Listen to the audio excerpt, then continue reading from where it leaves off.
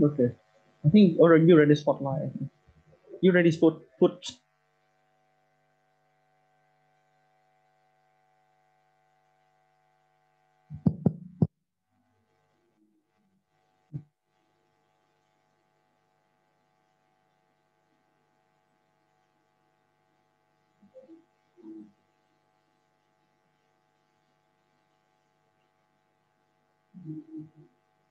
I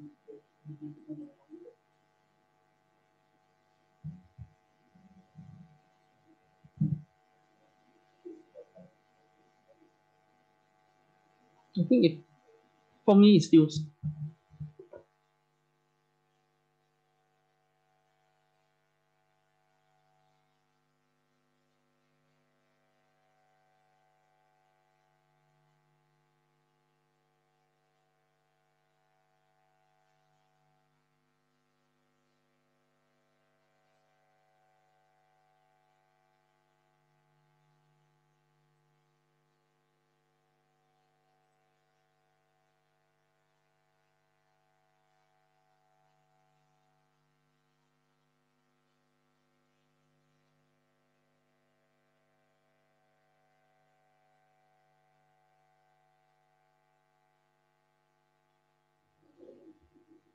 Hello. Uh, good morning, everyone. So uh, welcome to WEM seminar today. So before we start, uh, may I ask all the participants to turn on their videos?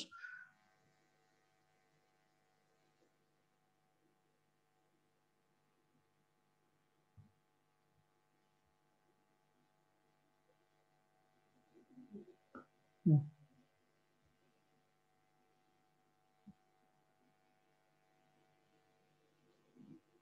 Mm. Yeah. See that? Oh, yeah. I think it's turning on.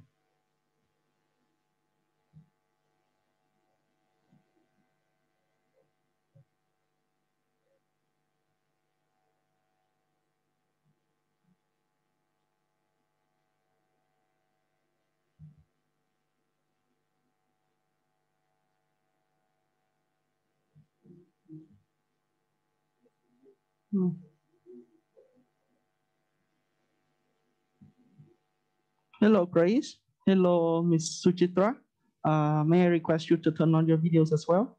And also Mr. Divesh.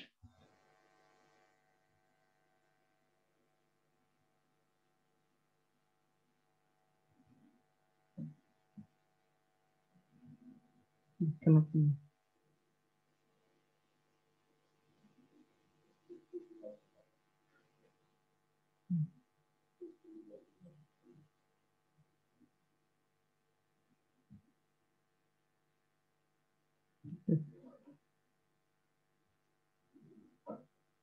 Hello, Mr. Rabin. Is it okay to turn on your videos just for a short while?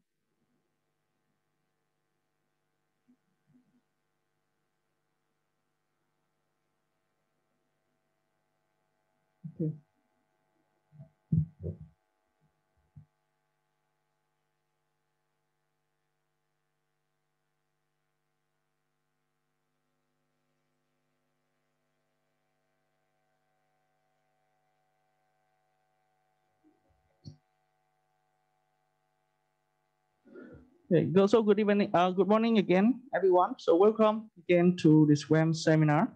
So uh, before we start, uh, first, uh, please remember to mute your microphone uh, in order to avoid, uh, avoid any noises, un- unwanted noise. And um, we have Dr. Sangam here who will help us to moderate the question sections later on. So whenever anyone has a question to the presenter, uh, please turn on your video and also unmute yourself. But uh, during the presentation, so may I request to uh, keep your keep your microphone muted. Thank you.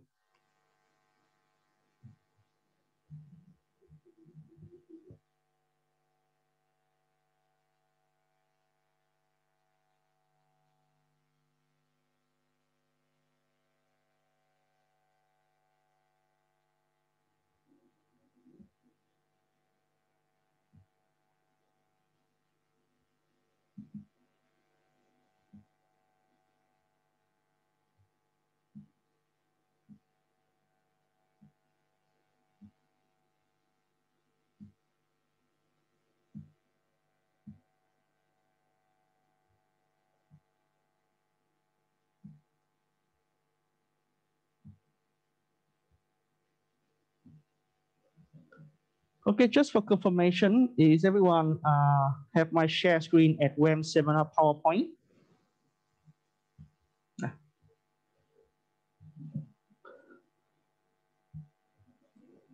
Okay, so uh, we shall begin the very first uh, WEM seminar. And I'm very happy today uh, to be the host for this event. So everyone can call me Dr. Loc. I'm an assistant professor, new faculty member of our water engineering and management family. Uh, before we start, uh, my presentation today will contain the rationale why uh, we initiated this WEM seminar, what are the expectations that uh, we hope that the students uh, will achieve by attending the series or seminar, some of the key points that I would like to mention so that the seminar can run smoothly and efficiently. Uh, I would also recommend a presentation structure that the students uh, might refer to for their upcoming presentations. So before we start, since I'm, uh, I'm new, but at the same time on here, so just like briefly uh, go through my profile. So my name is Ho Huu Loc, assistant professor of WEM. So as you see from educational background, I'm also an alumnus of WEM. After graduating from WEM, I did my PhD in Kyoto University. Then I spent three years as postdoc in Nanyang Technological University of Singapore. Uh, for the courses that I will be offering in the upcoming uh, semesters will be hydrodynamics, flood modeling and management, and river engineering. For my research foci, uh, I'm the most interested in nature-based solutions, ecosystem services, statistical methods, and also data analytics. So first we will start with the rationales of the uh, seminar series. So my ultimate goal is to enhance the scholarly exchanges among students, research staff, and also faculty of our WEM family. Um, the thing is, most every student will have their own research thesis, very different, agricultural, urban, uh, climate change. So I, this through this WEM seminar, the students we have the chance to really understand what the peers are doing to expand our knowledge. And the second goal of the seminar is to improve the presentation skills.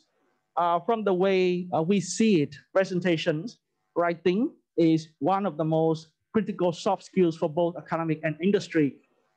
After you graduate from WEM, either you go to work in academics, you go back to work in a government agency, or even you work as a consultant. Presentation is one of the most critical soft skills that we believe that through this seminar, we will help to improve. Uh, the structure of the uh, seminar series, we are trying to have uh, two presentations for each seminar. And the final goal is also to win prizes. So uh, some key points for all the students. The seminar will be held bi-monthly, meaning uh, two seminars per semester. Oh, sorry, two seminars per month. And for each presentation, for each seminar, we'll have two presentations. The attendance to this WEM seminars is compulsory. Uh, I will go for the next slide. We go through the schedule, which is tentative and uh, subject to changes. So for the tentative schedule, uh, after this seminar, the uh, tentative schedule will be circulated uh, to all of you. The presenters will have until May 6th to recommend, suggest changes to the schedule uh, that will be communicated with me, who will be the faculty in charge of this WEM seminar series. And the final schedule will be announced on May 8th. However, as I mentioned earlier, uh, the order of the presentations are subject to changes as well. So I will also go through like how you can make changes to the uh, schedule of the uh, seminars. So for example, today is 28th. Uh, I have the um, honor to start uh, this kickstart, this seminar with introduction and templates. Uh, following up will be Mr. Saurav uh, with his topic on development of framework to assess groundwater governance in rapidly urbanizing cities. So from the list of students, we have arranged the order of the presentations randomly. There's no prioritization here. So um, the only one single criteria criterion for the presenters is we are trying to have a mix between master and doctors. So we are so that's the only rule for the allocation of the seminars. So the topic will be announced. So let's say, for example, uh, next week we will have a presentation from Ms. Pia Monai, or and then followed by Ms. Shakti, and so on and so forth. So for the presenters, you can present basically any topics related to your research. We, we encourage that you can present your ongoing thesis, but it can be also a papers that you find very relevant to your research. You can also present a method that you find very useful for your research as well. The presentation will typically last for 15 to 20, to 20 minutes, followed by five to 10 minutes Q&A section. So this is important point that I would like to emphasize that in case that you want to change your slots after May 8th, when the final schedule have been circulated, you are responsible to make all the necessary arrangements. So what are these necessary arrangements? I will go in the uh, following slide. So before the presentation day, uh, please prepare the following information and send to Kunkop Kunyani uh, one day before the presentation. So we need, so you need to inform the topic of your presentation, a short abstract of what are you going to present, and also an introduction of your academic background.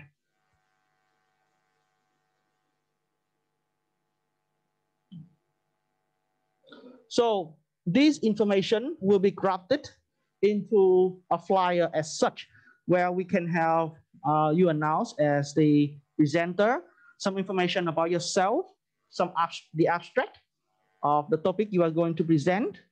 So each of the presenter will have one flyer as such uh, announced before the seminars. During the presentation, one student will oversee the time and remind the presenter so that uh, we can keep the time and the uh, seminar effectively. It is highly recommended that students contribute questions and comments for presenters to improve.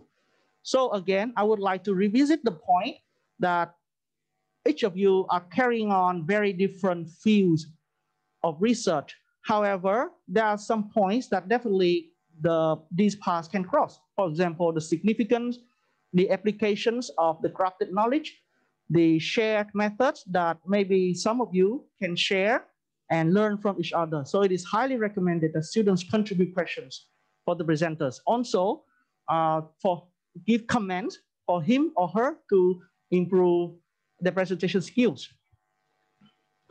Uh, the third point that I would like to raise is it is compulsory to use a WEM virtual background for standardization purpose. So this is a virtual background. So during the presentation, each presenters, please use this virtual background uh, for your Zoom settings, for your video Zoom settings. So the high, the high resolution file of this picture will be also be circulated after today's seminar.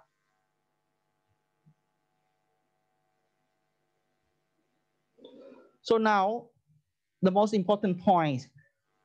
After May 8th, when the tentative schedule has been announced, it is uh, conditionally fixed.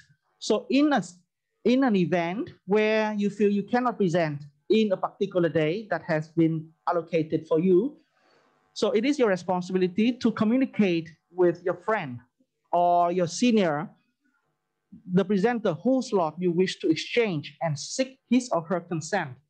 After the consent has been achieved, please communicate with uh, the faculty in charge. Uh, for, this, for this semester, the faculty in charge will be myself and could cop of the changes. And please CC the person who has agreed to change the slot with you at least two days before the presentation. The head time two days is because we will have to prepare uh, the announcement and then also uh, prepare the flyer for the presenters. So please be mindful uh, that it is your responsibility to make the necessary arrangements uh, to amend the schedule. However, uh, after today's seminar, I will circulate the tentative uh, schedule. And then based on that, if you feel you're not ready to present, you can always communicate with me and then we can shift accordingly. So the deadline to do the first round of amendments will be 6th of May. And then the final uh, tentative schedule will be announced on the May 8th. So please be mindful of these two deadlines. So uh, now I will go to the presentation structure. So uh, it is recommended that each of the presenter please follow uh, this uh, presentation structure in order to facilitate uh, a more convenient and easy follow for each of the for the participants. So um, we will have basically four uh, parts in any presentation: the introduction, data and methods, results and discussions, and conclusions. Um, when you this will be very useful for you as well when you when you prepare for this one. It will you can also build up upon this one uh, for your thesis or even for your uh, final pre presentation. So for the introduction, the information that uh, we'll be looking at will be the problem statement, uh, the research gap uh, that you are targeting. Uh, be very specific of the objectives, what you want to do with this particular research. Again, I want to emphasize that it does not have to be your own research. It can be a paper that you are very fond of, you feel very relevant, but be specific and list down the specific activities that this particular paper are pursuing. And also mention these two key points that I keep uh, on mentioning is the novelty and the significance of the research itself. Again, it can also be a method, but what is a method novelty? How can it, what is the advantages from this method over others that should be mentioned in introduction part of your presentations. For data and method, um, depends on uh, the nature of your research, but uh, the map of the study area should be there. Uh, data collection method, uh, what sources of data are you going to collect? Is it meteorological data? Is it hydrological data? Are you going to conduct surveys? So all of those must be made explicit as possible. And then after you collected the data, what kind of analytical approaches that are you going to use? Uh, also need to make uh, very clear with references. For the results in discussions, it can be, this is a little bit uh, more flexible. So depends on the nature of the research conducted. It can be immediate results that, for example, some descriptive statistics uh, from the questionnaire that you collected, some descriptive statistics for the water quality or the hydrological data that you collected. Inferential speculations here, you can go a little bit deeper on what kind of conclusions, what kind of inferences that you can draw from the immediate results. Implications, so here you link back to your uh, novelty and then also objectives, how the results were able to help you uh, to answer these research questions or achieve the uh, objectives. Then recommendations, let's say, is there any methodological implications that you want to highlight that you think it can be improved? So this also go into the results and discussion section. Uh, then finally, conclusions. Uh, please reiterate the research question and how you have answered them with the, the result. Is it answered 100% or there are some gaps that, you, that can stimulate uh, future research it? as future outlooks. So uh, do you have any uh, questions related to uh, how this WEM seminars is going to be organized and also the structure of the presentations? Uh, for those who want to uh, raise questions, please unmute and also keep your videos on.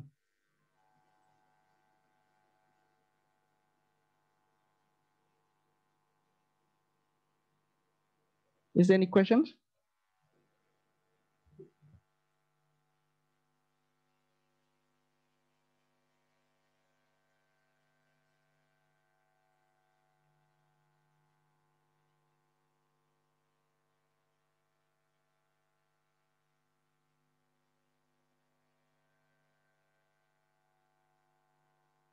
Any questions related to this seminar?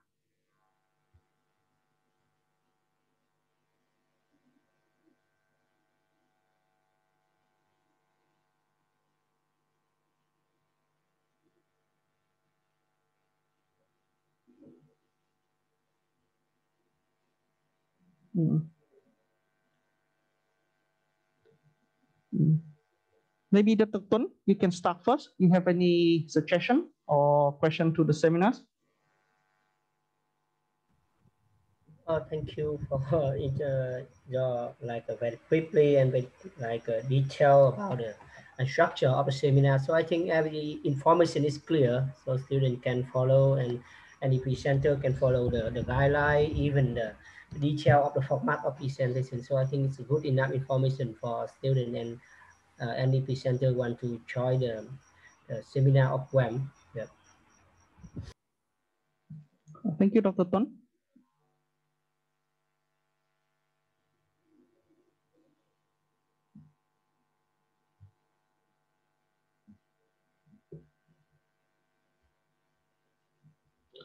So I want to ask Mr. Rabin, uh, so you have already uh, had your progress, and then also I was also there during the uh, uh your presentation. So you have any questions related to this activity? Um, uh, congratulations uh, to the WEM team for launching this seminar. so, so I'm happy to be part of this seminar. Uh, and uh, the, the overall structure of the seminar looks good to me. and then the, the one thing I, I, I want to make it clear and I ask you that uh, what type of you know the researches uh, that we can present so that will be related to water, but uh, the, what uh, domain it covers, the scope, uh, to the extent what we have to go, we can go. So that uh, that might be useful for all of us, I think. So uh, thank you, Mr. Robin, uh, Robin, for your question. So I'd like to respond as follows. Um, here we are WEM, and as you can see from the uh, virtual background, let's talk about water. But uh, your suggestion is very relevant. And I already mentioned in the very beginning of the seminar that you can also present uh, analytical method. It does not have to be directly related to um, water. I can give an example. For example, a multivariate analysis, it emerged from social science. However, it has been applied extensively in uh, water research as well, especially water quality. So you can also introduce, for those who are not familiar with that particular method, uh, that also be a very good topic to present. So it does not have to be directly related to water. So you can present some analytical method that you find will be useful, that you found useful for your research. And then also you may think that it is useful for your peers as well. Does it answer your question, Mr. Rabin? Thank you, Professor. Yeah.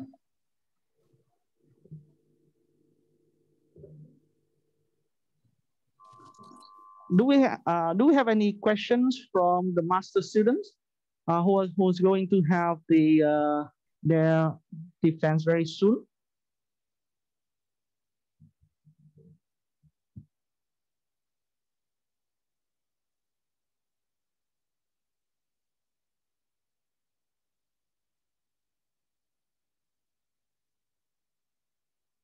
Um, hello, Miss Grace. Yes, sir. Okay, so uh, are you you are going to have your defense soon, right? Yes. So uh, you have any uh, question related to uh, this WEM seminar? Actually, I think this can be a good rehearsal for, for your final defense as well. Yes, it's a good rehearsal, I think, and it's a good way of learning from your from people you know, so you can ask comfortably and learn more. I think. So I have no questions, sir. Ah, okay.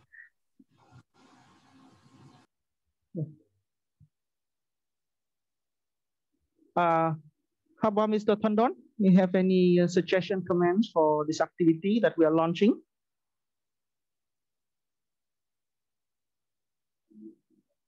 Uh, sorry. Uh, yes, yes, we can hear you. Uh, sorry, uh, sorry, I just something. So I don't know about the the, the presentation. I have no any questions. Sorry.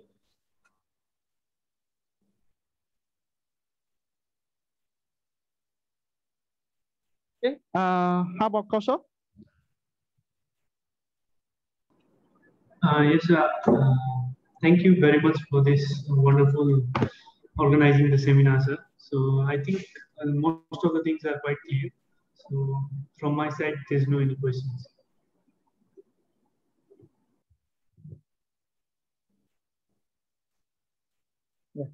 Okay, so if uh, no one has questions, I'm surprised because I mentioned the rationales of the questionnaires. Uh, sorry, the, the rationale of this include winning prizes, but no one asked about prizes, so I will introduce it myself then. so, uh, okay, because I intentionally hide it. So, okay, so here are the prizes. Once after five seminars, the best presentation by voting will win a dual drink. I put it in the rationales that to win prize is not about academics, but no one answer about it. Okay, so uh, here's the deal. Uh, after five seminars, then we will have 10, uh, 10 presentations, right? So we will have a sizable sample. So uh, the, win the winners will have a dual drink. It means you will you can invite one of your friend, partner, to either Intanin or Hamprun for a drink to celebrate this prize. No one asked. I don't know why. okay, so uh, if that is the case, then uh, let me introduce uh, Mr. Saurav. I think a lot of us have already known him. So, uh, okay. So, no, I think stop share. Yes. Uh. Uh, uh, I think uh, as far as I understand, there will be two presentation uh, within one seminar. Yeah. So the time slot we have selected is like one hour. It means like one presenter gets uh, about half an hour to present his materials. So is this time uh, flexible or like it is quite rigid? we need to finish. Maybe sometimes there will be so many questionnaire sections. So uh, we need to extend the time period for one presenter to 45 minutes or 40 minutes. Yeah. So uh, are, are we uh, flexible in this time slots or not? Uh, okay, thank you, Mr. Suwash, for, for raising a very uh, critical issue. Actually, I uh, the way I envision it is uh, we will have one of the students or even myself to keep the time um, we we should be flexible, but at the same time, we need to keep the time uh, because the target is 15 to 20 minutes, which resemble uh, their final defense as well. So it cannot be so too draggy. And so, the, and then also, this is also a good practice so that for the upcoming their experience in real life, so they need to learn how to keep keep with the time for the presentation. So I would say uh, two three minutes should be uh, tolerable, but uh, not more than 10, we say. 30, yes, total question will be 30. Yeah, preferably 15 to 20 minutes, and then five to 10 minutes for Q&A.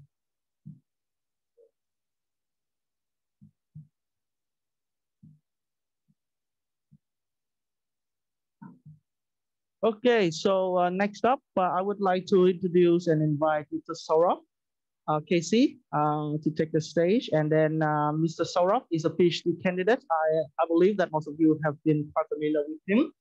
So his research interest includes groundwater governance, climate change, urban flooding, and disaster risk management. Uh, he is currently involved as a early career researcher at SEI as well. So Mr. Saurav is going to share with us uh, his research on development of framework to assess the groundwater governance in rapidly urbanizing cities. So uh, thank you, Mr. Saurav.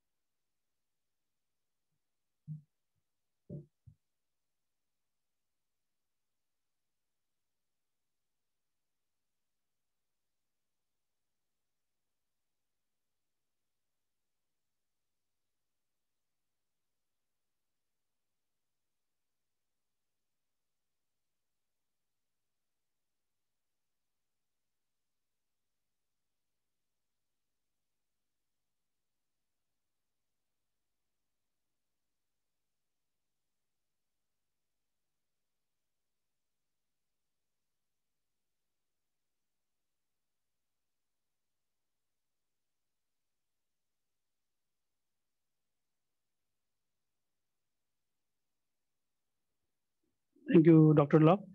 Uh, I would like to welcome all the participants uh, in this WEM seminar uh, via Zoom and uh, Facebook Live also. Yeah. yeah. Uh, first of all, I'd like to thank Professor Sangam Shrestha, Dr. Loc and WEM team for organizing this seminar and creating this platform for students to share their research works, their ideas, and uh, over this platform and also to develop the communication skills among each other. Uh, I'm Saurav KC, PhD candidate at uh, and uh, today um, I would like to present uh, a part of my uh, PhD research, which is the development of framework to assess groundwater governance um, in rapidly urbanizing cities. So I think everyone can see my screen here. So this is uh, the, uh, this is the structure of uh, today's presentation. Uh, I'll just skip it. Um, whenever we talk about governance, uh, it's a general term. It's a very a vague term, and uh, the definitions we can find for governance will be different. Different in terms of organizations, different in terms of context on which we are defining the governance but whatever be the definitions or whatever whoever be the organizations or whoever be the persons defining governance, uh, they have to keep three mutual elements um, in this uh, definition. That is the process, the power or the authority, and the collective management of the community aquifer. So in simple, uh, we can define governance as a process of exercising authorized power uh, in handling or managing the community affairs. So since the presentation is more about uh, the urbanizing area or the cities, so I would like to discuss uh, partly on the urbanization trend uh, that the United Nations projects for 2050, which shows that 68% of the global population will be residing on the cities. And uh, it makes it sure that the cities will be highly stressed in terms of its service delivery. And one of the service delivery is water, water and sanitation service delivery, included with uh, employment, education, health, and other things. So since we're talking about water sector here, so in urban area, if we're talking about the governance of the water, we are talking about the urban water governance. And this would be a key to move this crisis to risk management strategy uh, to uh, overcome this challenge. So when we talk about water governance, uh, it could be on the city, it could be surface water governance, or it could be uh, groundwater governance. So uh, here we are focusing on groundwater governance from the uh, world's water distribution. You can see that out of 2.5% of fresh water available only, 30% is the groundwater and 0.4% is the surface water, and the uh, rest of them are glaciers and permafrost. So you can see that uh, the groundwater is evidently available. So uh, it's one of the common pool resource uh, where everyone and every sector or every individuals are using, and uh, due to which there are multiple stresses on this groundwater. So due to rapid population growth and urbanization, the groundwater is being stressed. The other stresses can be climate change, um, industrial development, tourism development, and also um, effect of one country uh, is affecting the other country. So there is transboundary effect also. So due to these multiple stresses on this common pool resource, there are many management issues that are, um, um uh, growing every day. So it could be uh, the um, uh, water level changes. It could be the uh, land subsidence due to these changes. It could be the um, uh, contaminant transfers, or it could be the different types of conflicts uh, for uh, water use or water um, um, access or something like this. So groundwater is one of the important source for every sectors in the world. And we can see the trends that groundwater is being rapidly used. We can see that it is nearly four times in last 50 years by one study done by FAO. So governing and managing this groundwater resource is very important, but this has been repeatedly been ignored and underrated uh, because uh, it's abundant uh, availability, but it should be recharged um, and it should be managed properly so that we can, our future generation can also use it. So understanding groundwater governance could be one of the soft approaches for managing and addressing these challenges.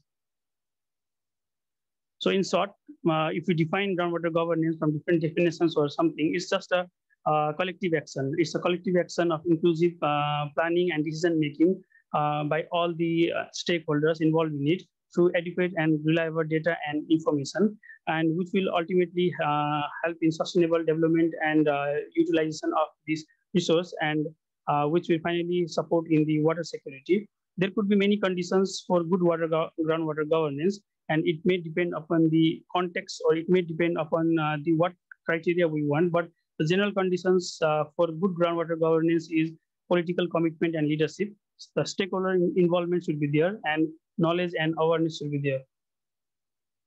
So in this study, um, uh, we are developing a framework through some guiding principle and enabling framework so that um, we can assess uh, the current state of groundwater governance that we are trying to uh, get a quantitative value for a qualitative term that I'm talking. This groundwater governance is a qualitative term, and we are trying to get a quantitative value so that it, it would help in uh, further on groundwater management and which will ultimately support in the water security.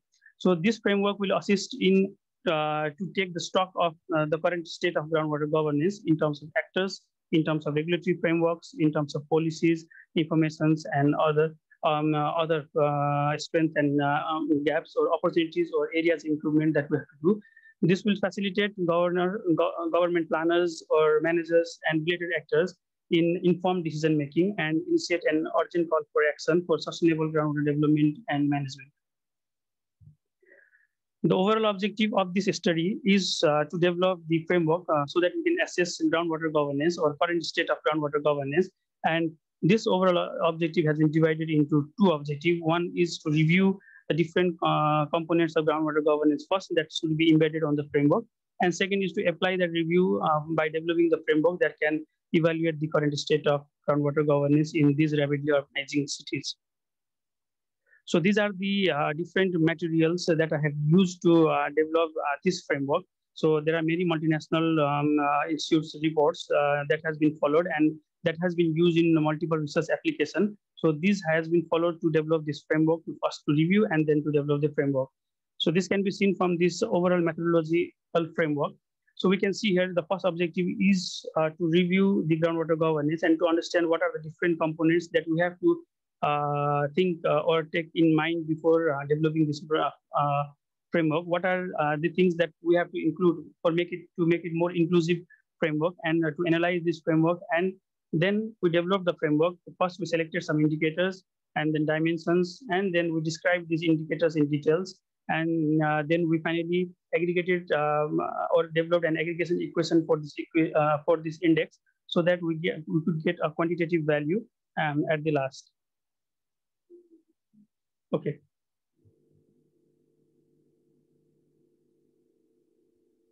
So can you see my pointer? Yeah. So on the results and discussion, as we discussed, the first part was to uh, uh, have a uh, comprehensive literature review so that we can understand what would be the components of groundwater governance. So from the study, we found that there are four major components of groundwater governance. One is actor, the second is the legal frameworks, the third is the information and knowledge, and the fourth is the you know, policies and plan. So for to assess the groundwater governance, there should be involvement of actors. There should be multi-stakeholder actors or multi-stakeholder engagement and participation. There should be some favorable legal and institutional framework. There should be precisely and accurate or uh, relevant uh, information and knowledge on this. And there should be some policies that and incentives that are st structured towards the goal. So to assess the groundwater governance or to diagnose the groundwater governance of any area or any city, uh, should be done on these four components. That is, this, what are the strength of this uh, component and what are the weakness of this component. So whatever are the weakness, or I, I would like to say, what are whatever are the areas for improvement. So we can improve those areas so that overall the groundwater governance of the uh, area is increased. So I'll uh, describe every uh, individual components one to one. So the first one is the actors. So good governance requires active participation of different actors. This actor can be different it can be different on different sector, uh, but generally the actors are everyone. It can be politicians who influence the decisions or who take the decision. It can be the government decision makers, government agencies. It can be the academicians. It can be planners. It can be the groundwater users also. It can be the private sector. It can be community-based organizations, NGOs and CBOs or international organizations. So these all actors should be taken in concern while uh, looking at the groundwater governance, and also these things should be taken in um, consideration while developing this framework. So whenever we are um, uh, diagnosing this uh, factor or this component, uh, of groundwater governance, these uh, involvement and roles should be of these actors should be understood. We should also understand what is the sense of urgency of these actors regarding groundwater governance and management. Are there are there clear mandate um, and capacity among the in charge groundwater governance agencies? Are they motivated to work on this groundwater? So are the um, stakeholder capable enough uh, for the effective participation and what is the state of current cooperation partnership and what are the different conflicts among these multiple actors should be understood. The second is um, the legal frameworks. These are the legally binding norms, so uh, which uh, clearly delineates the roles and responsibility of all individual actors.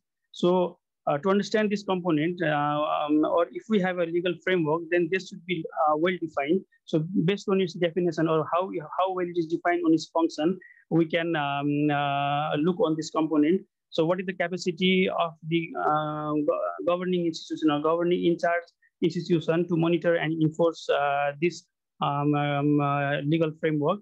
And does it harmonize uh, or not means like there are many uh, transboundary aquifers. It can be local transboundary aquifer uh, within a country, or it can be international transboundary aquifer. So this harmonization should be maintained by uh, these uh, legally binding um, uh, documents or frameworks. The third component is um, policies. So these are the decisions um, oriented um, towards a long-term purpose. So it can be different. The policies can be different. it can be economic policies or incentives. It can be uh, incentives also. And uh, uh, looking at the policies, we can also say what is the stage of groundwater management in that um, place. For example, uh, if some place have a proactive mode, uh, I'm going on the third one, uh, proactive mode, they have integrated water resource management plan, they have a comprehensive groundwater water policy, then we can directly say that the groundwater management stage of this area is on advanced management stage.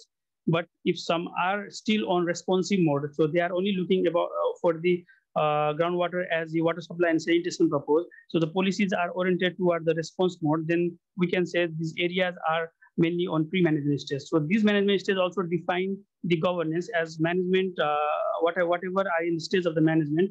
This defines what is the stage of uh, groundwater governance of that area. The last but not the least is the information and knowledge. So to have a proper or good groundwater governance, there should be adequate and reliable information. So information in, includes both the static information and the dynamic information and the regular monitoring of this information. So having information is only not important. So it should be converted into knowledge so that uh, uh, decision makers can have an informed decision making through this knowledge or through this information. And once uh, that decision making are, are, made, so these results uh, and information uh, should be shared among or there should be some mechanism to be shared among widely um, stake wide stakeholders. Uh, these all four components and uh, whatever uh, we, we, are taking concern on these each components are included in the framework that we are we are talking on the next slide. Before this, I we also reviewed uh, so which of the stakeholders are being represented or being studied on uh, in water sector. So if you can see that um, uh, the green one is the traditional stakeholders. So many of the water sector studies, they have used um, academics, governments, uh, media, or agriculture actors. Whenever we are talking about the water, so these uh, these stakeholders are being um, regularly represented. And now in modern trends, uh, we are also including uh, the long-term investors. We are including the companies, private companies, or or the chain uh, who, who, are in the water footprint. And um, uh, for urban area, we are we are also choosing the spatial planning or develop. So these sectors are also being, or these uh, actors are also being included in the water sector. But still, uh, there are missing um, uh, stakeholders. They are the women, the poor, or the indigenous community for whom uh, water is equally important like others. So these are repeatedly being ignored or or not represented in many of the water sector studies. So this framework also tries to include um, uh, these unrepresented stakeholders. So whenever you see on the framework this vulnerable, vulnerable and marginalized uh, groups or VNM, so these uh, these are represented. These are those indicators or those dimensions are uh, represents these unrepresented stakeholders. So now I'm going for the objective two, which is uh, the structure of the framework. So you can see that uh, the structure of framework is um, uh, uh, is divided into different dimensions, different indicators. and uh, different variables. So there are four dimensions on, uh, on this current structure, which has been divided or which, which have nearly 30 indicators and each indicators have two variables. Aggregating this whole structure will give one index value, which is known as groundwater governance index. So the four technical dim four dimensions are the technical dimension, the legal and institutional dimension, the cross-sector policy coordination, and the operation. This one is the dimension. The earlier we talked about the components. This dimension will uh, incorporate the four components of groundwater governance that we should look. I, I will also uh, mark this point at the last of the presentation. So this four dimension will have 30 indicators, uh, which have been selected from different uh, international organizations reports and study. Uh, and uh, every indicator will, will be measured on two variables. One is adequacy of existing governance provision, and the next is institutional capacity for its implementation. So these two variables will be rated between zero and three, where zero will be non-existent state of uh, non-existent and three is the optimum. So if, if there is non-existent of, uh, so, so for some indicator, the adequacy of provision is non-existent, then we can rate it zero. If it is acceptable, we can rate it two. Uh, and uh, same applies to the institutional capacity also. So this is the overall um, uh, framework for the groundwater governance. You can see the dimension, you can see the 30 indicators, and every indicators will be measured uh, within these two variables, adequacy of provision and institutional capacity.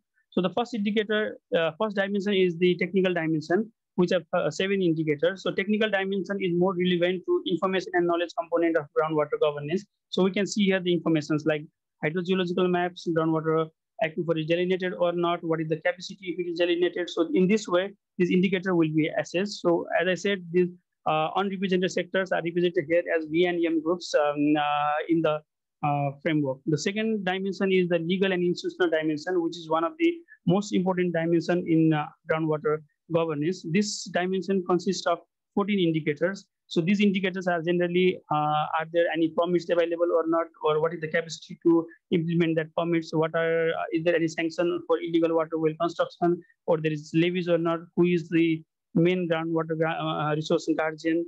Um, uh, and um, what about VNM groups? What about inclusiveness? What about the customary rights for indigenous group? These things are mentioned on uh, legal and institutional aspect. The third dimension is the cross-sector policy coordination. We have taken three um, uh, sectors here, agriculture, urban area or industrial sector, and tourism sector. So these are mentioned in the indicators. Uh, and the fifth, the fourth one is the um, operational uh, dimension where we have five different operational uh, level indicators. Each of these indicators uh, in detailed framework has been defined clearly what is this, what this indicator speaks about and what we want to really find out from this indicator. So I could not show this on the presentation, but each 30 indicators uh, has been defined clearly uh, in the detail um, framework. So we have a lot of indicator and we have four dimension over here. So uh, one idea could be we go for equal weightage. So since we are developing a framework for now, so during application, we can go for equal weightage for every variable. We can go for equal weightage for every indicators and dimension, or we can use some uh, multi-criteria decision-making um, uh, tool like AHP to identify um, what would be the weightage of the dimension or indicators. For now, for when we are piloting this framework, we, we plan to take an expert opinion for the weightage of the dimension and AHP shall be used. So finally, uh, how we aggregate uh, this all information into one value. So this is, this is a framework. For example, in indicator two, we can see there are two, in every indicator, there are two variables. So first we have to get the value of the indicator. We use the equation. So if we have weightage and we have the value of the variables, uh, then we can directly get the um, uh, uh, value of this each indicator by using this equation. Once all 30 indicators value we, we get, we use this equation for uh, to get the um, uh, value or aggregated value of the dimension. So finally, these 30 values or 60 values will be converted into 30. The 30 values will be converted into four. And once this four value we, uh, we achieve, and uh, with the appropriate weightage or equal weightage, uh, we get uh, the final GGI value, which is known as groundwater governance index. Once we get this value, these values will be between zero to three. So zero will represent the non-existing state of governance and um, 0.1 to 1 will be incipient, similarly acceptable state of governance and optimum state of governance.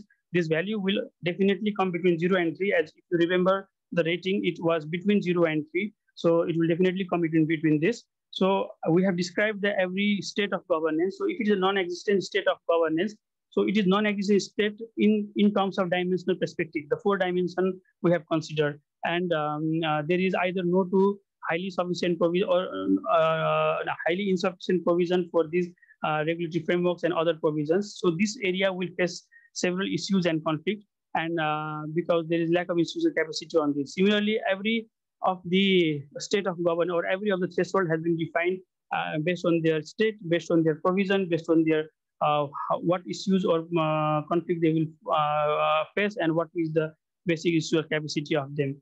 So I have created a sample of this uh, framework. If we apply this framework, for example, we get a GGI value of 1.3. So from the threshold, we can directly know or, a decision maker or an unknown person who just uh, is have not have the idea of the groundwater governance, they can directly know, uh, okay, the groundwater governance is on acceptable state. So for, uh, for basic understanding, it's an acceptable state of groundwater governance. So when we go on dimension point, so uh, if it's uh, equal weightage, you can see that there are four dimensions have their own values, which will give uh, 1.73. So we can see that the technical and legal dimension are very good on this area, for this sample area, uh, and they are on the optimum state. But if you can see the cross-sectoral policy coordination uh, is uh, still on the incipient stage, though the groundwater governance index is on acceptable state. So one, we can uh, see as a whole. Second, we can see as a uh, dimension uh, point of view. So within dimension also, we can we have different indicators. Okay, on cross-sector policy coordination, it's only 0.7, which is on incipient stage. So we can see that uh, in the four different indicators of the cross-sector policy coordination, the the red one or the orange one is the institutional capacity. Though in this area, the institutional cap or sector policy coordination is uh, is not good, but there are uh, uh, though uh, the institutional capacity is or adequate there or uh, or or more than uh, required there, but the provision is still not there. So so we can we can recommend that few, these provisions should be made because the people are available or capacity for the institution is available to implement this provision. But the problem is the provision is not there. And within that also, uh, this area or this sample area do not have any provision for the coordination with the tourism development. Similarly, if we see the technical components, it's 2.16. So anyone from the uh, from the threshold can see it's on the optimum state. But if we see it on the from the dimensional perspective, uh, and uh, and if you see one of the indicator, though the overall dimension is on optimum state, one of the indicator is still on the uh, very poor state or non-existent state. Like uh, there, even though there is uh, uh, uh, institutional capacity to have some publications related to VNM group or information sharing among them, but there is no provision of the government to share this type of information. So these things can be looked for looking at the short-term planning, for the mid-term planning and the long-term planning, how this governance, current state of governance can be improved uh, step by step on the selected area. Not only from this part of this, uh, we can analyze this framework, um, uh, use this framework analyzing on different components of the framework. So we said here that these are the four components or four dimensions of the framework, and the and the when we whenever we are looking on the groundwater governance, we have to look on these four components. So if you see the indicators on technical dimension, they are more relevant to giving the information about uh, information and knowledge component. Similarly, if you see uh, the legal and institutional dimension, they will give more or they are more relevant to legal frameworks um, component of the groundwater governance. This framework can also be used to look on different variable aspects or different parameters. Like if you want to see the governance of groundwater extraction, you can follow a few indicators mentioned here. Uh, also, we can look on the quality or related indicators only, or we can look on both quality and um, extraction related indicators or if you want to look how inclusive is the uh, uh, groundwater governance in that area, we can look on the vulnerable and marginalized related indicators. Furthermore, so this uh, framework can also be modified based on what uh, we are. So the indicators can be modified and the dimension remains will be same. And in this way, we can uh, use this uh, framework to analyze different perspective. So I come to my uh, second last slide. So uh, I conclude the presentation into uh, from the review, we found that there are four major components of groundwater governance. They are the actors, the legal frameworks, the policies and plans, and the information and knowledge. The framework that we developed for evaluating the groundwater governance in rapidly urbanized cities uh, includes four different dimensions, 30 indicators, and two variables to measure each indicator. And finally, the framework will give a GGI value known as groundwater governance index value, a quantitative value that ranges from zero to three, where zero represents the non-existent state and three represents the optimal state of governance. I'd also like to thank uh, the JIRA project uh, on which I'm involved. Uh, my advisor, Professor Sangam Shrestha, who has been uh, uh, supporting me uh, to develop this framework and entire team of the project and my examination committee members. and thank you for listening to me. If you have any question, please give your question, comments to improve this framework. Thank you.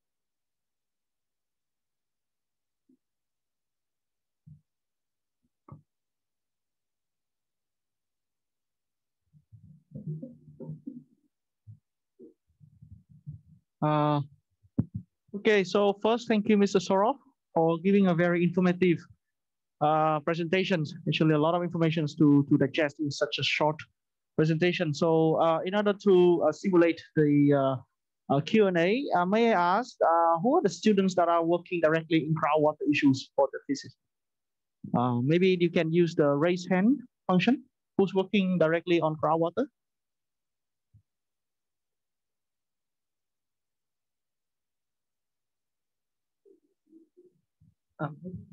Um, those working on the uh, okay, Grace.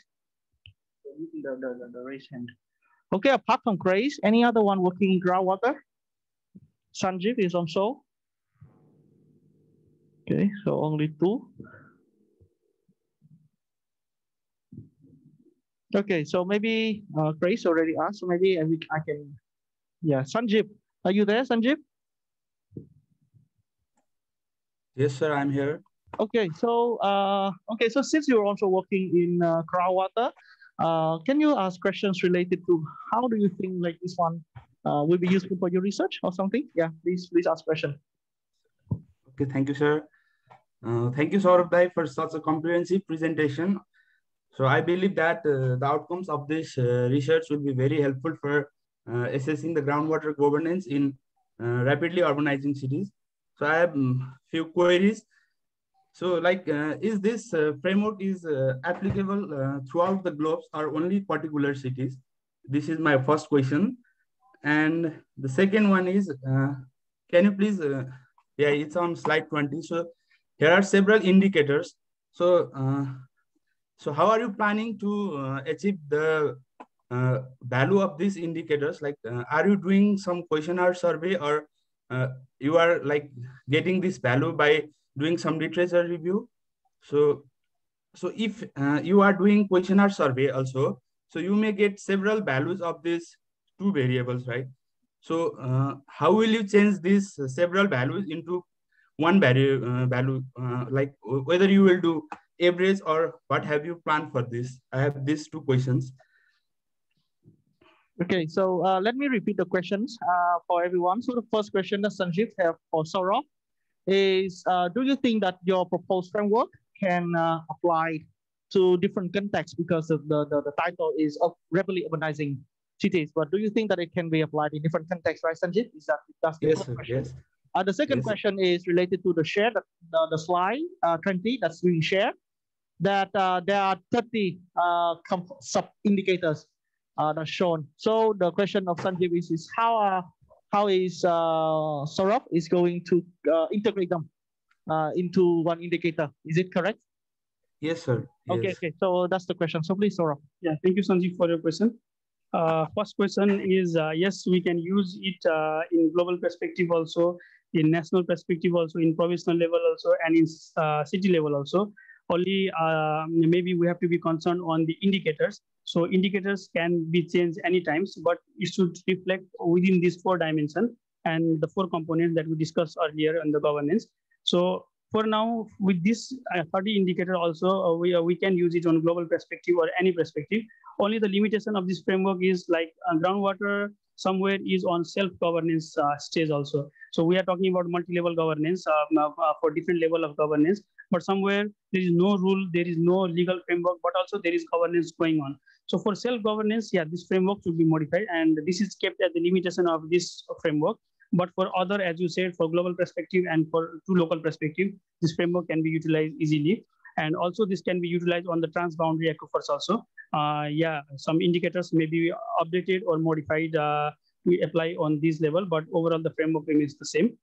Uh, regarding the value of indicators, so we plan to conduct a experts questionnaire survey. So here, based on this question, uh, these indicators, a questionnaire will be developed for the experts who are uh, directly involved um, in groundwater resource governance and management from national level to the local level, including the researchers uh, and the academicians who works on the groundwater. So these questionnaires will be sent to them and we will get different values for them. And once we get the different values, the immediate plan is to take the average. But uh, looking at the results, maybe we have to follow some statistical, statistical analysis to take uh, to aggregate these two values into one. But for now, the immediate answer would be the mean. Thank you, Sanjeev.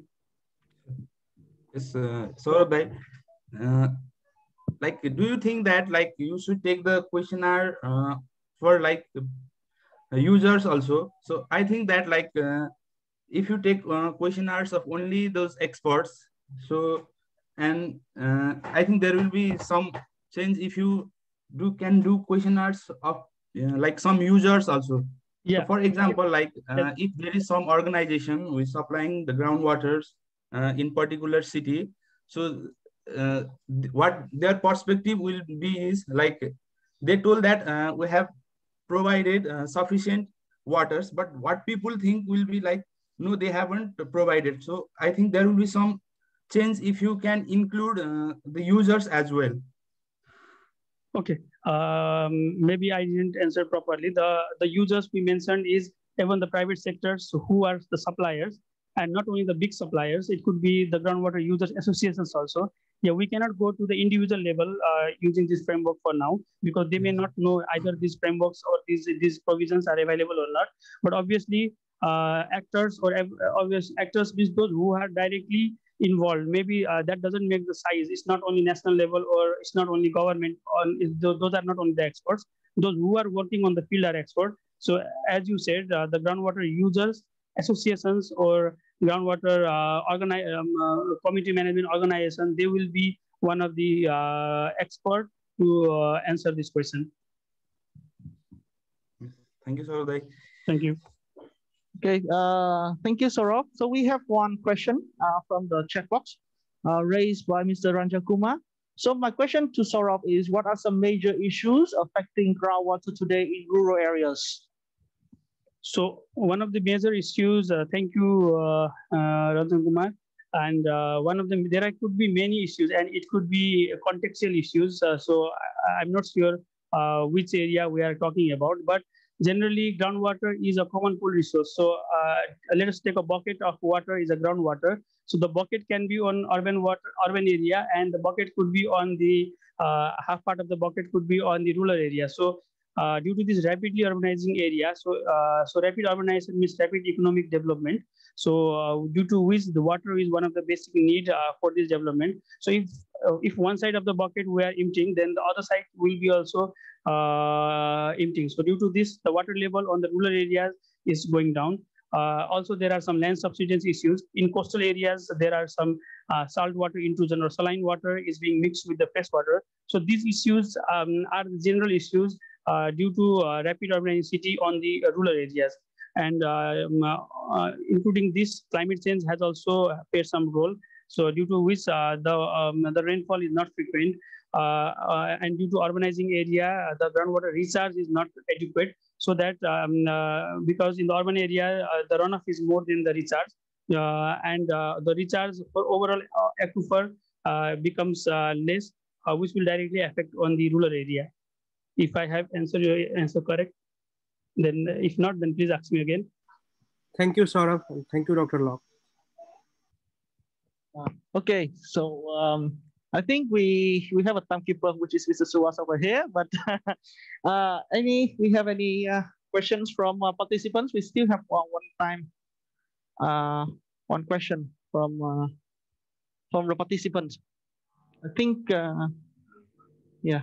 Okay, so uh, I'm I just read for uh, Saurav. This is one suggestion. In terms of groundwater management, the framework should be applied to regional scale at least province irrigation area project because it is relevant to current state of management. suggestion, yeah. Yeah, thank you. Thank you, Tuan. Okay, so uh, we have time for one more question from the participants. Hello. Okay, please. Can I can I ask one question? Yes, yes, please, Mr. Rasmus. Um, uh, congratulations to Saurav uh, for a nice presentation. It's very informative. I enjoyed the presentation. So I was just wondering uh, whether the uh, accountability issue, uh, when we talk about the governance, has been addressed in the co components of the framework you have been discussing. Yeah. So where do these uh, accountability issues comes in in your framework? So that's what I was wondering. Does, for example, like the, um, are there any um, components that addresses the uh, issues like complaints by public, cases filed in the court? Uh, are there these kind of issues addressed when we talk about accountability uh, to measure the good governance of any system? Okay. Thank you, Robin, uh, for your question. So regarding uh, accountability, we have few indicators, like if you can see indicator number 15 uh, for now. Uh, so who is the major uh, groundwater resource guardian uh, for this? So, mm, so this, these things are mentioned here.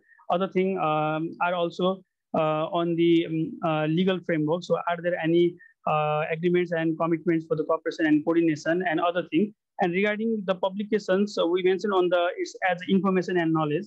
So uh, these are like for now we mentioned on uh, VNM group specific publication, but this accountability uh, things can be kept on two dimension for now. One is legal and um, institutional dimension, and other is this uh, how this information could, could be shared uh, among multiple stakeholders. So did I answer uh, you or? Yeah, so yeah, I, am still, you know, the struggling to to hammer out whether this is uh, a complete picture or not. But uh, you know, if even if there are legal frameworks, uh, the, that, that doesn't function at times because of you know the different regions, uh, and then people are not, you know, the uh, having you know sufficient, you know, the, the services or the groundwater system might be not functioning well, and then so how can we ensure that if the, the, the guardian you are talking about, the government, for example, is not, uh, you know, the uh, working properly, is not, you know, the uh, providing services uh, uh, to the extent that has to be? Okay. Um, maybe uh, from this indicator or this dimension or this framework point of view, we are just looking what is the current state. And here we are doing two things. Um, one is what is the provision that we are talking about? And next is what is the capacity also we are accessing in terms of capacity also. So each provision, each, each indicator, what is the provision for that indicator and uh, what is the institutional capacity. So the basic thing we can know from this institutional capacity, are they adequate or not? And regarding functioning of this indicator, yeah, separately some other study could be done, but here we are just measuring what is the current state of groundwater governance and how uh, we can improve uh, this current state um, uh, um, based on this dimensional perspective. Okay, thank you. Thank you very much. Thank you. Okay, thank you, uh, Mr. Rosbin. Okay, so we have one more question and then we can wrap up this uh, first seminar. So what is the most limitation for several indicators?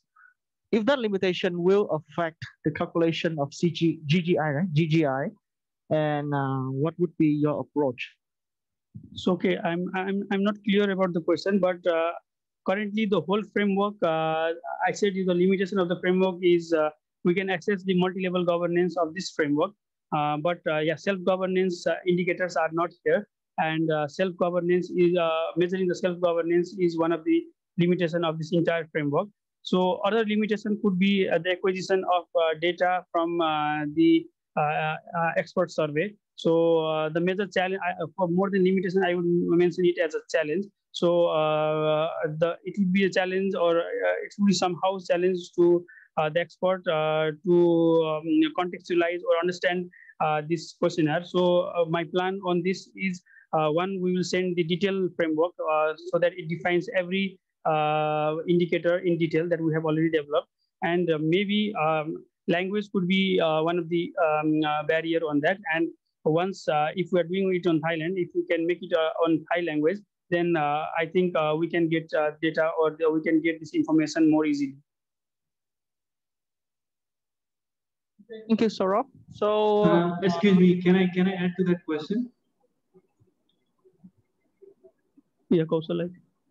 Uh, yeah, uh, in terms of that question that was asked, I also wanted to know, like, do you have any any measures, you know, to identify whether like these indicators that you have provided, 30 indicators, are they independent of each other or not? I mean, if they are interrelated, then I think your dimensions would be biased because like two of the indicators would be reflecting the same results. So maybe that would create some biasness. So my suggestion would be if you could address uh, whether these indicators are independent or not, then definitely I think this limitation that was asked would be, I think, solved or addressed. Yeah, thank you, Kaushal, for your suggestion. And for now, uh, uh, there are not so much biased uh, uh, indicators among these 30 indicators because this has been selected from different research work that has been already been done. only we accumulated from different works and then we aggregated this as a whole framework. But still, um, when sending this question, uh, it, it, we should be clear that either they are uh, uh, interconnected with other indicator or not, so that there is no bias within this dimension. So thank you, thank you, Kaushal, for your suggestion also.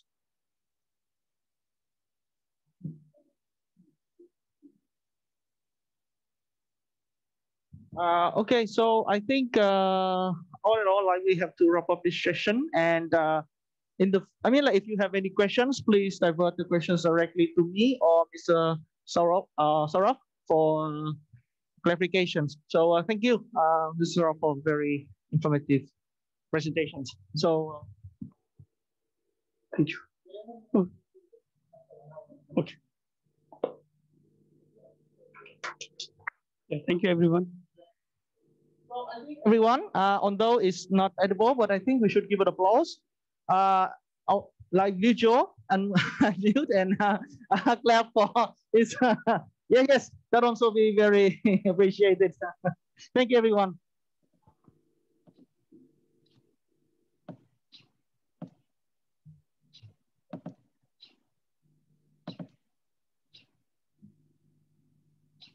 Okay, so uh, first I would like to express my sincere appreciation for 55 uh, participants today, uh, which was really surprised the uh, attentiveness and then also lots of um, valuable questions that I believe that Mr. Saravonso was able to digest that and improve uh, his presentations. Um, so before uh, I wrap up this section, I would like to share with you the upcoming plan. Um,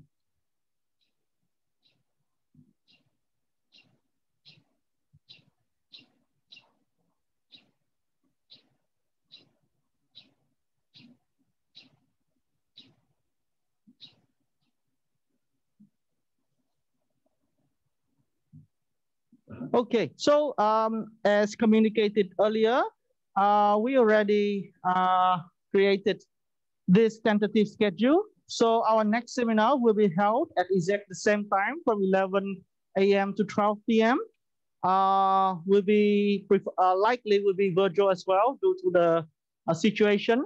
Will be 12th of May, and the next presenter will be uh, Miss uh, Pia Monai and then also another, the second presenter will be Miss Shakti, uh, who is a senior master student and uh, doctoral student.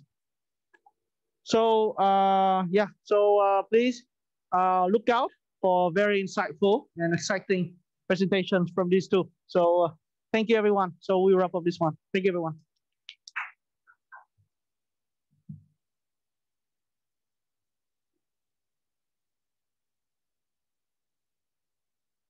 Okay, so I think